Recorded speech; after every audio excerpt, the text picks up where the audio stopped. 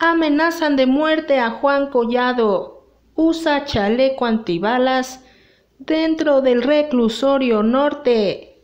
El abogado del diablo, el abogánster.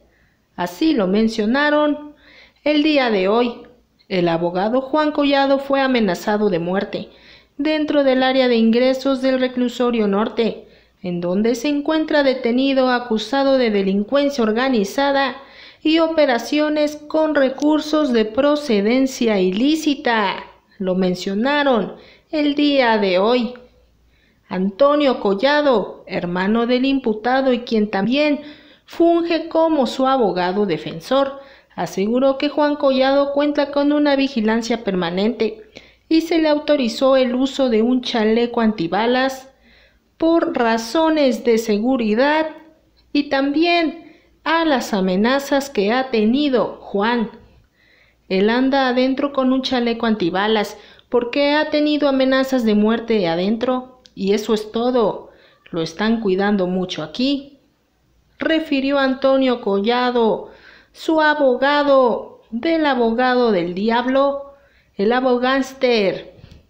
Antonio Collado negó que su hermano goce de algún tipo de privilegios dentro del área de ingresos que es donde se encuentra el abogánster con su chaleco antibalas.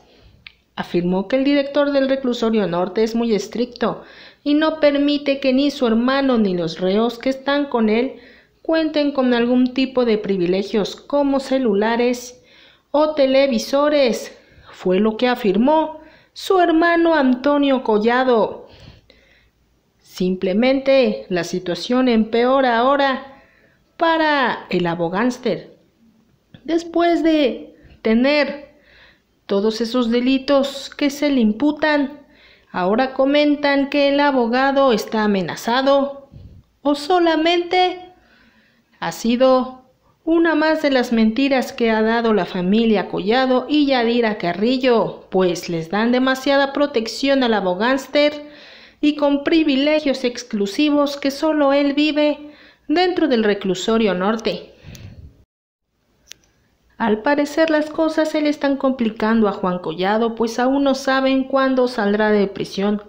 Y es que con todos estos problemas que ha tenido y también las cuentas y el dinero que le congelaron, por supuesto dinero de procedencia ilícita y de lavado de dinero que hacía el abogánster, también con sus más de 40 empresas fantasmas, donde tenía negocios ilícitos, y también su empresa financiera Caja Libertad, donde hacía las estafas a sus clientes. No cabe duda que el abogánster fue abusado para hacer todo este tipo de estafa y poder robarle a sus clientes. Sin embargo, aún no sabemos quién es la persona o las personas que están amenazando al abogado, en el cual se encuentra ya casi dos meses en el reclusorio norte. Lo que aún no sabemos es cuándo saldrá, si es que va a salir, o iniciará un juicio en su contra para dictar su sentencia pues el abogado tiene todo encima y los delitos están ahí, las pruebas por supuesto también, ya que ha sido uno de los abogados más influyentes en México y por supuesto de los que más ha ganado gracias a sus famosos clientes políticos corruptos que han estado en el PRIAN como Peña Nieto y Carlos Salinas de Gortari. Ahora Yadira Carrillo tendrá que dar una nueva versión y lo que piensa sobre las amenazas de su esposo, o simplemente inventará más cosas como siempre para aparentar otra cosa en la pantalla. Si te gustó el video, por favor compártelo con tus amigos para que se enteren. Dale manita arriba y por supuesto déjanos tu comentario que para nosotros es muy importante. Excelente noche. Nos vemos a la próxima.